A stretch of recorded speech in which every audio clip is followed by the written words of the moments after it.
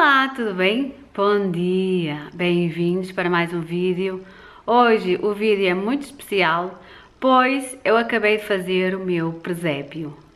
O presépio 2022, vocês já me estão a pedir há muito tempo para eu fazer. Eu fui dizendo em alguns vídeos que este ano ia ser diferente, vocês já conseguem perceber um bocadinho o que está atrás de mim. Deu bastante trabalho, foram muitas horas, foram alguns dias de trabalho, mas eu gostei muito do resultado final. Este ano não usei o musgo, que é tradicional, por aqui, por isso, se eu fiz em musgo, vocês também podem fazer. Espero que vocês gostem, que vos inspirem. Aproveito para pedir ao Menino Jesus que traga muita saúde e paz a todas as famílias do mundo. E sem mais demoras, vamos ver como é que eu criei este presépio.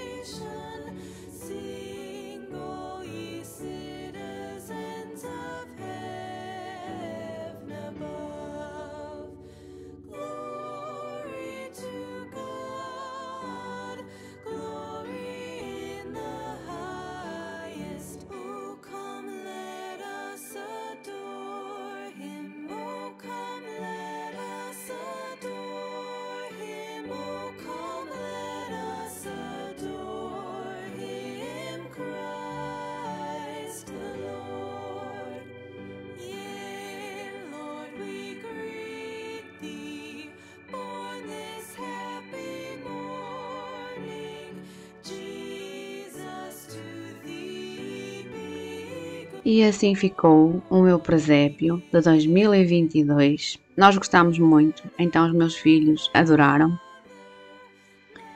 Eu tentei fazer uma mistura da aldeia de Natal com o presépio.